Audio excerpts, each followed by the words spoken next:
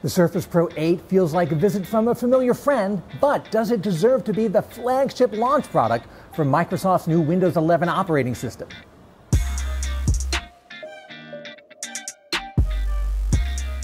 Alongside Windows 11, Microsoft is launching a few new Surface products. There's a Surface Laptop Studio, a big 14 inch convertible laptop, and there's the Surface Pro 8, the latest version of the Windows tablet slash convertible laptop clip on carried around device. Now, we've liked the Surface line for many years, especially because it's got a lot of really cool engineering to it. The kickstand remains fantastic for a Windows tablet. The clip on keyboard is best in class. But over the past three or four or five generations, the Surface itself has not really changed all that much. Maybe it started to feel dated in some ways. That's why I was interested to see that the latest version, the Surface Pro 8, takes some of its DNA from previous Surface Pro devices and takes some of it from the Surface Pro X, which was the more experimental high-end Qualcomm-powered LTE always-on version of the Surface, uh, which introduced, among other things, the concept of the slim Surface Pen. Now, if you're familiar with the Surface Pro X, you're going to find that that slim pen is now the official stylus for the Surface Pro 8. It's also the official stylus for the Surface Duo 2, the uh, two-screen smartphone. It's the official stylus for the Surface Laptop Studio. It's basically the official Surface Pen now, uh, the Slim 2. A big advantage of the new stylus over the previous versions is that on that clip-on keyboard, there's a nice little dock built in for it. It fits right in there. You can close up the keyboard. Uh, it doesn't stick out. It's not going to fall out. It even charges the stylus while it's in the little dock. Another big difference between the Surface Pro 8 and the previous version is the screen has gone up from a 12.3 inch screen to a 13 inch screen, makes it feel much more like a mainstream laptop. Let's say like something like a MacBook Air that also has the 13 inch screen.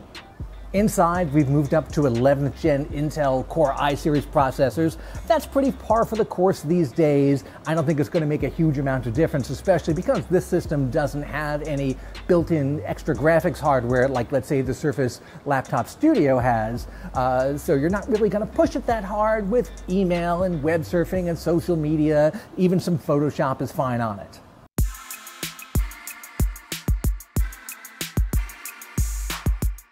Like previous Surfaces, it works great on a table. That kickstand is really still best in class. You can bend it to any angle you want and it's going to stay put. Frankly, the only place it doesn't really work is on your lap. It's a very awkward lap laptop because it's not sitting flush on your lap, but on tables, on desks, uh, it's actually really great.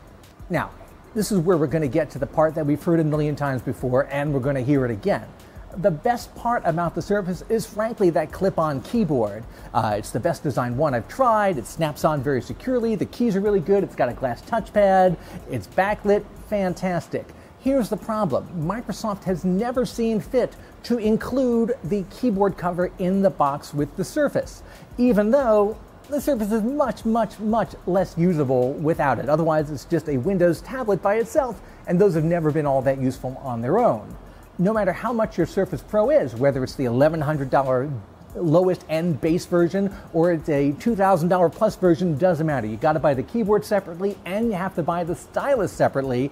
The Surface keyboard cover and Slim Pen 2 combo that you can get now is $279. That's more than a 25% premium over the base price of the Surface itself. Really adds a lot to your total cost of ownership. And of course, anytime you see a Surface, whether it's in an ad, product placement in a movie, which you see a lot of, uh, it's always being used with the keyboard. It's really an integral part of the system. And I know I sound like a broken record, but they should throw it in the box. Especially because if you have, let's say, a Surface Pro 7 or an earlier version, that keyboard's not going to work with the new one because they changed where the little connectors are. The Surface line has always worked, and the Surface Pro in particular, because I think it takes advantage of Microsoft designing both the hardware and the operating system so they can really get them finely tuned to each other. That's kind of like what Apple does with MacBooks, where they make the hardware and they make the operating system. Now they even make the chips too, and Microsoft actually did that by co designing the chip in the Surface Pro X. Here we're just dealing with regular Intel chips, but again, you feel that Microsoft fit and finish where they really want this to be the flagship device for Windows 11, and I feel like it certainly could be. If you have a relatively recent Surface, like the Pro 7 or the Surface Pro X, there's not really enough here to justify upgrading. If you have an older model or you want to get into your first Surface, uh, this is certainly a good entry point. And again, about $1,100, it's not that expensive, although for that entry price, you really only get a 128 gig uh, storage drive and 8 gigs of RAM should be a little more, and you gotta buy that keyboard and stylus separately. I've used Surface Pros for years as part of my regular lineup of laptops and tablets I take along with me, work at a coffee shop, work on the road, work at different places around my house, uh, and I've certainly found it to be the preeminent Windows tablet, not that that's a huge category. Want to know more about the Surface Pro 8? I've got a link to my full review and all kinds of other stuff in the description below. One thing I really like to see in future versions of the Surface Pro is adding 5G. Right now, you can get 4G in some Surface Pro models, but only the professional, commercial, industrial versions, not the consumer versions.